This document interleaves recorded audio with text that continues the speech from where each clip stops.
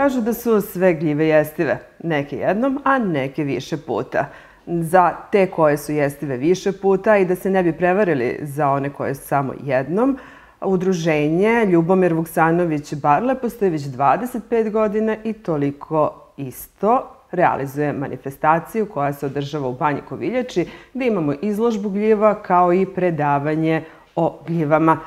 Tim povodom naši gosti u studiju danas su Svetozar Ruvidić i Dragica Zarić. Dobar dan i dobrodošli. Dobar dan, hvala. Vi se ne slažete sa mojom konstatacijom, su neke jednom, a neke više puta? Da, evo zašto, sad ću da objasnim. Jednostavno, to je priča u narodu.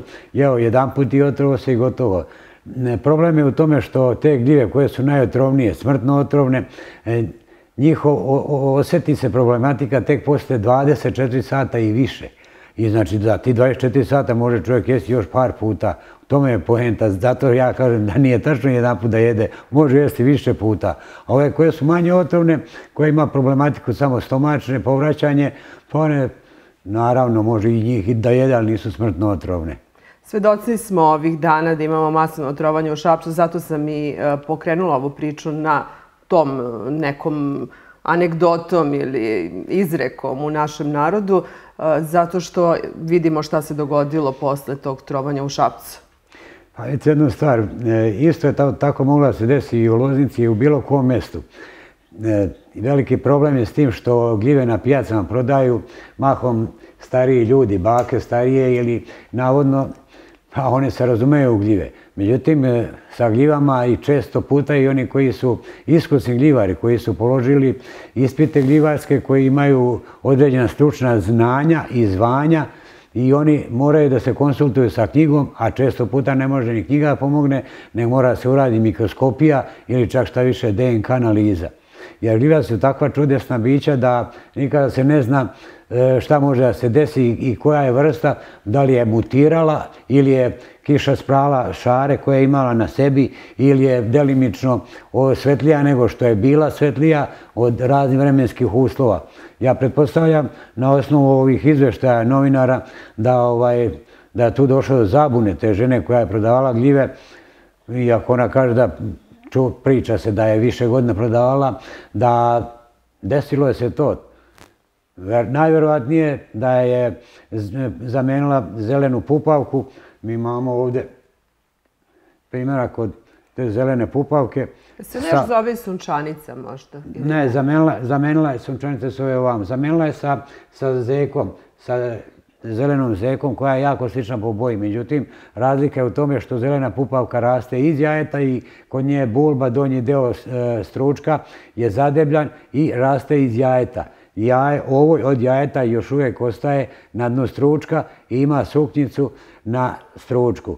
Dok, e, međutim, e, zeka zelena i sve zeke to nemaju. One su glatke, glatak stručak, stručak je lako lomljiv, listići kod nekih su lomljivi, kod nekih su e, klizavi, mogu da, da, da, e, elastični su. I može deo kožice da se odlubi kod raznih vrsta zeka, to je strusula a dok to kod amanita, koje su najotrovnije, amanita faloides, zelena e, pupavka, ona je najotrovnija gljiva koja raste kod nas. Jedan šešir može da otruje dvadesetak ljudi, od toga sigurno više od 50% smrtno. Najveći problem je u tome kod tih trovanja, teških trovanja, što e, se simptomi trovanja e, manifestuju tek posle 18 ili više sati. Čovjek jede ujutro pa tek sutradano ili u toku noći osjeti probleme malo sa želucem, pa dobro. I razmišlja, nije to mnogo opasno, nema problema, proći će. Međutim, kada se javi lekaru, to već dolazi do... do Teže komplikacije. Da li ste vi, Dragice, nekada došli u tu nedoumicu da li neka gljiva jeste ili ne, za 25 godina koliko ste u Naravno, to se, dešava, to se dešava jako često, pošto mi ne idemo samo da beremo i e, gljive koje poznajemo jako dobro, nego e, beremo gljive na koje naiđemo da bi ih i proučili. I naravno, dođemo u nedoumicu, moramo da se konsultujemo sa kolegama koji bolje poznaju E, E, sa nekim našim e, mikolozima čak iz Beograda i naravno ili šaljemo te gljive na analizu, na mikroskopiju i tako dalje, ali mi nemamo sada trenutno te uslove da to radimo. Tako da izdvajamo te gljive, a verujte, bolje biti u nedomici i odvojiti gljive koje nisu e, vam baš, baš poznate, jer osnovno pravilo za prepoznavanje po meni gljiva otrovnih i e, Eh, jestivih je da pravilo apsolutno ne postoji. I molim, drage gledalce, da zapamte tako nešto. Ključevi ne postoje. Znači, morate poznavati svaku gljivu. Eh, tu smo mi, udruženje koje, hvala Bogu, evo nalazi se u vašem okruženju. Eh, kontaktirajte nas, uključite se, dođite da pogledate našu manifestaciju koja je 9. oktobra u nedelju počinje u 11 sati. Ali i van ove naše manifestacije uvek smo na raspolaganju građanima. E, naše društvo e, je dosta aktivno. E, radimo edukativno radionice u Tršiću. To nas angažuje i preporučila je, odnosno sami smo se verovatno izborili svojim predstavljanjem. Preko turističke organizacije grada Loznice koji nam je, koja nam je velika podrška i bez nje se ovo i ovaj napredak ne bi bio. E, radimo edukacije deci čak i od preškolskog uzrasta pa do neke srednje škole i tako dalje, gde su svi oduševljeni predstavljanjem i uvođenjem u svet gljiva tih mladih ljudi, što je za nas jako, jako bitno. Proširivat ćemo te naše aktivnosti koje su za mene e, prevashodno značajne, jer ako deca zavole u malim, nekim mladim godinama, odlazak u šumu, prepoznavanje gljiva, e, da čuju šta i kako sa gljivama, jer gljive nisu samo gastronomija. One su ušle u sve pore života, e, uključene su micelijumi gljiva, od njih se pravi sada i stiropor, pravi se građanski materijal koji je biorazgradiv, što je jako bitno. Znači, nećemo praviti otpad, nećemo zagađivati svoju sredinu. Tako da, to su samo neki delovi koje sam spomenula. E, gljive su jako e, veliki spektar svojih delovanja. Ima medicinske gljive, također jako, jako zanimljivo. Znači, nije samo gastronomija u pitanju. Ali sada je trenutno, naravno, gastronomija, pa eto, Svetozar je baš lepo to objasnio. E, nemojte od sakupljača iskusnih uzimati gljive, čak ni sami brati. Probajte da nas kontaktirate i onda ćemo vam svakako pomoći u tom. Vi ste nama ovdje e, doneli, evo možemo vidjeti više od 20 različitih vrsta gljeva. Koje su ovdje jestive, koje nisu? Ono što čemu smo svedoci da e, ova godina je baš plodna kada su gljive u pitanju.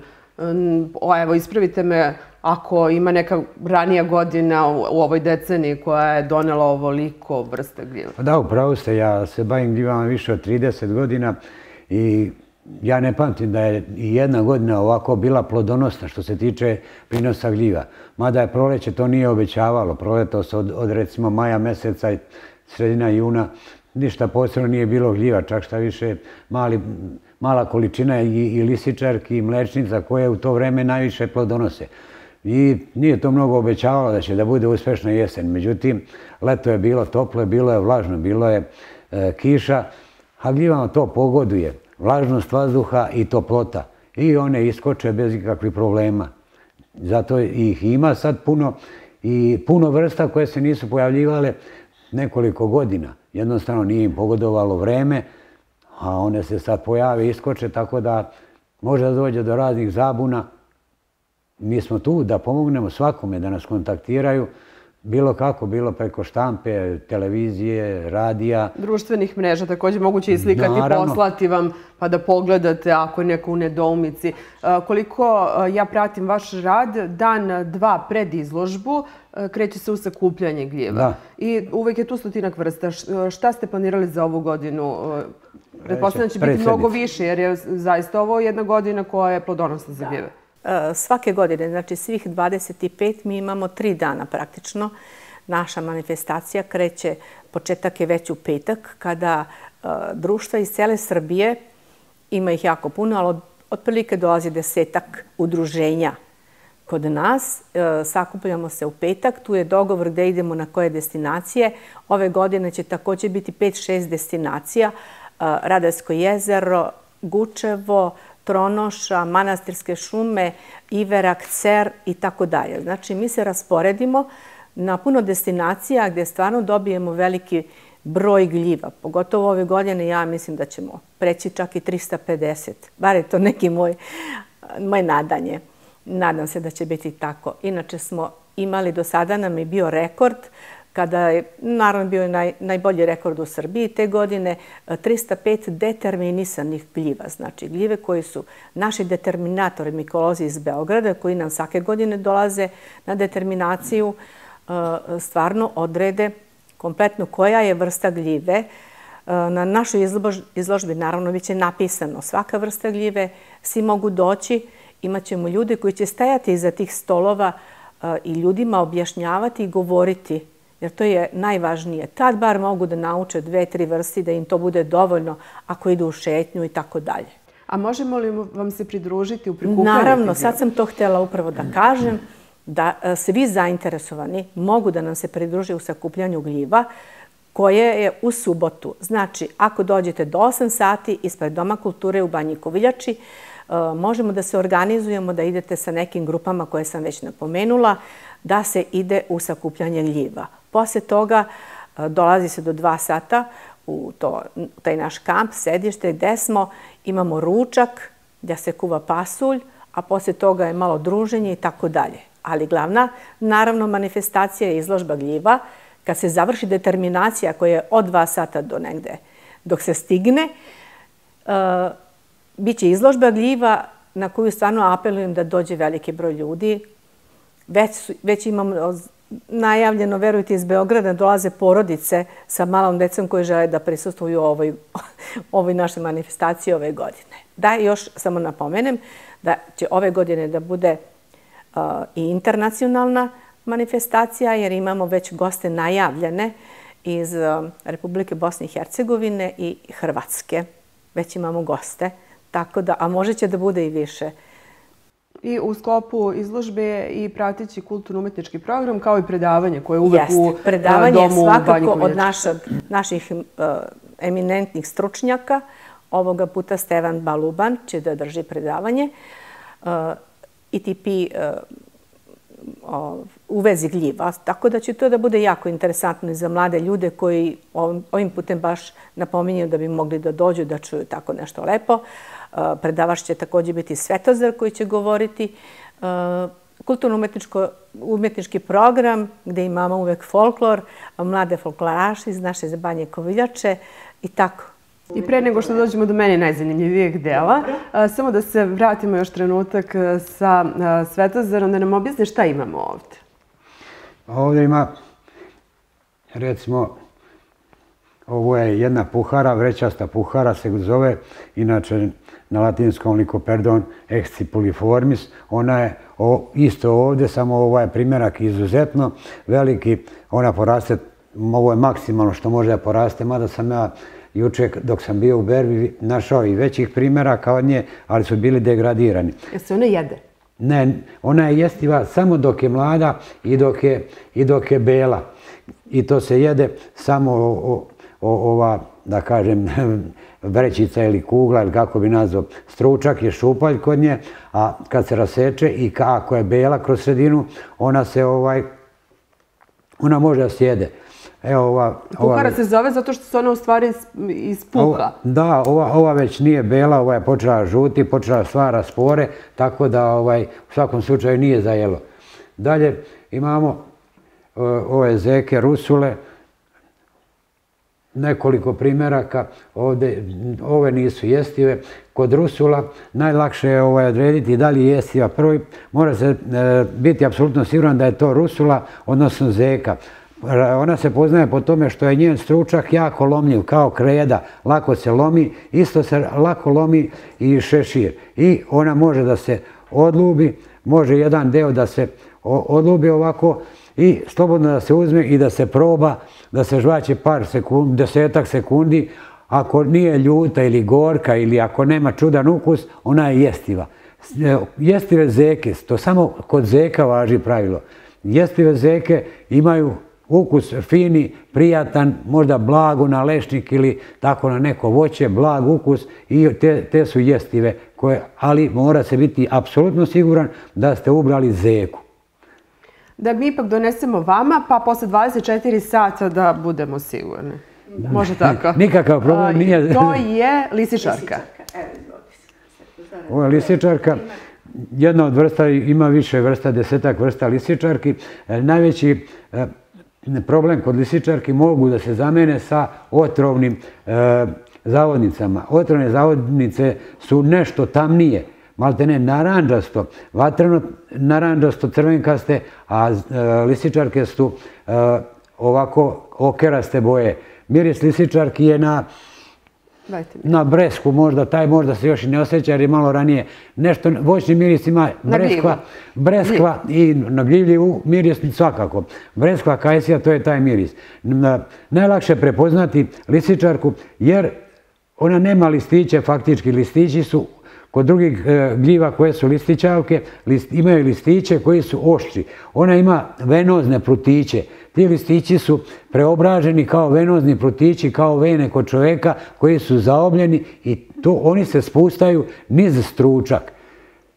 Isto tako... Rekla bih da su one posle onih mlečnica, kako ih nazivamo ovde, najrasprostranjenije u podrinju. Pa, jesu najrasprostranjenije, jesu kad ih ima. Međutim, ove godine su bile jako redke.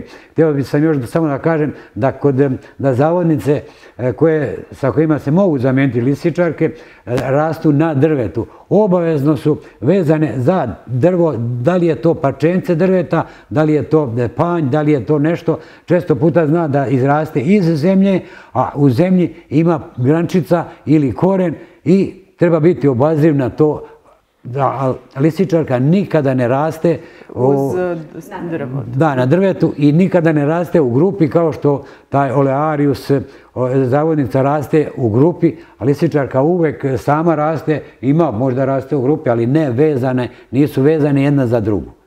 E sad, koja od ovih gljiva će se naći, ono kada sam rekla, najzanimljiviji deo ćemo ostaviti za kasnije, u gljivaš?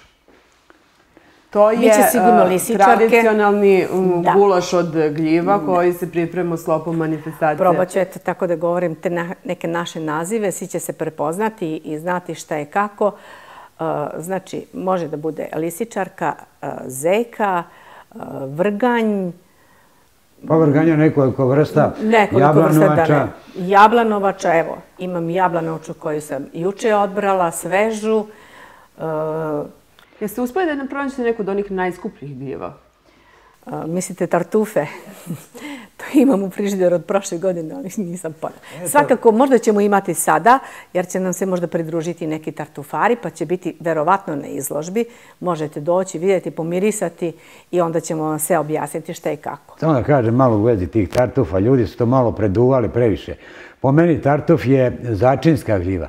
Tartuf se ne jede kao što bi jeo, recimo, e, lisičarku, pripremiš jelo od lisičarke, bilo kako da je pripremiš, da li pržiš ili dinstaš ili ugljivaš ili bilo kako. Tartuf se dodaje kao što je muškatni oraščić, začin, dodatak nečemu da doprinese ukusu. A mogu, e, u Italiji, u Francuskoj, da je to nešto bogatije i sa tartufima i bogatija kultura i na višem nivou nego kod nas, koji jedu te tartufe, oni to seku na jako, jako tanke listiće, pa onda se to kao dodatak jelima dodaje i sad oni uživaju u tome. Ja vam kažem iskreno da to po meni, meni se ne sviđa, to nije nikakav ukus, za mene je lističarka broj jedan, ali o, o ukusima raspravljati, a to je iluzorno. Neko voli ovo, neko ono. Međutim, tartufi za mene su isključivo začinska biva i dodatak. Još e, jedna stvar, da se vratimo kod vrganja koji će sigurno biti u gljivašu. E, to sam naučila skupljajući gljive u ovih dana, svi skupljamo gljive, da, da e, imaju te neke otrovne zeke ili kako se već zovu, pa onda par metara oko njih budu vrganje. E, pa vidite... Imaju ta neka pravila? Pa nije problem, uopšte nikakav problem nije ovako, recimo, i na gomili kada su jestive gljive i nejestive gljive, otrovne gljive, nikakav problem nije. Jestive gljiva se neće e, o, zatrovati od e, nejestive gljive, od otrovne gljive. Neće se zatrovati i ako se u prirodi nađe jedna pored druge, neće, se, neće biti otrovna.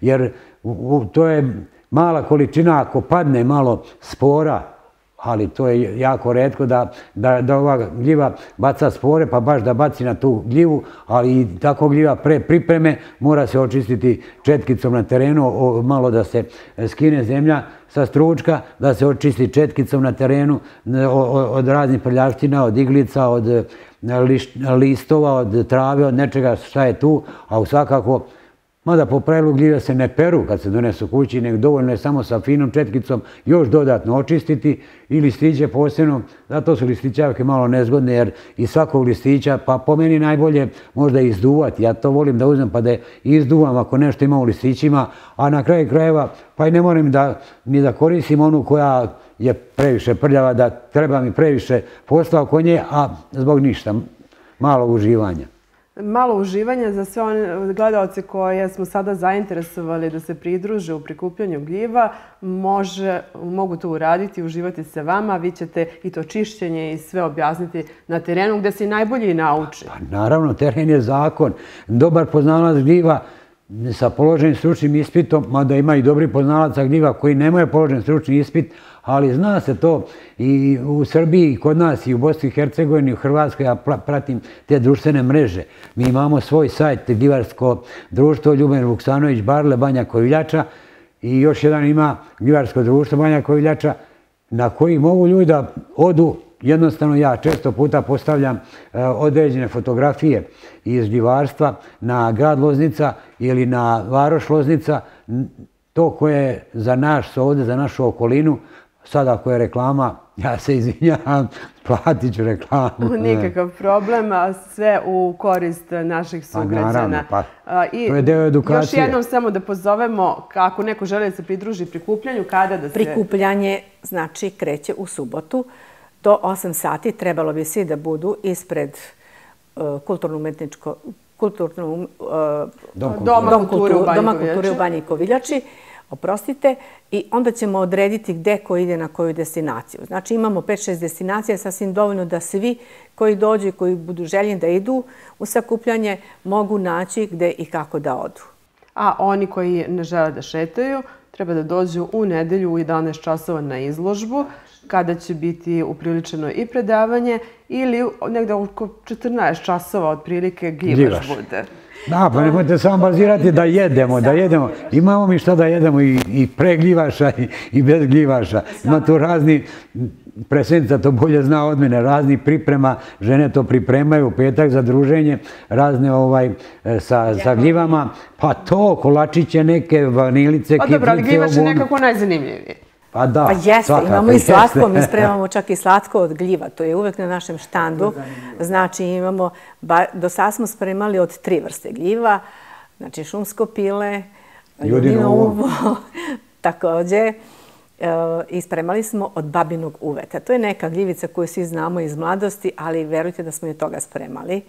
I to ćemo imati priliku da probamo. Imaćete, naravno, to sam još samo htjela da kažem, da imamo naravno bazar, gde je turistička se potrudila, znači bit će kompletan bazar u nedelju u parku, eh, a također ćemo među njima imati i mi gljivari, eh, čak i gljivarsko društvo iz Beograda će imati svoj štan sa prodajem knjiga, bit će zanimljivo. Na našem štandu naravno se uvek nalaze i aranžmani, jer mi smo se u društvu potrudili da imamo taj neki naš mali brend, da pravimo aranžmane od osušenih gljiva eh, koji imaju baš poseban neki tretman, dva puta idu u zamrzivač pa se suše, pa tako ima još nekih tajni malih, ali svejedno naše priče da naši aranžmani mogu da stoje i po tri godine. Ako nosimo nekom na poklon dok se cveće, ne može baš toliko dugo da stoji i bit će tu mnogo lepih stvari i zanimljivih. Pa evo da se primetiti da je ovo jedna zaista lepa jesenja dekoracija. Hvala.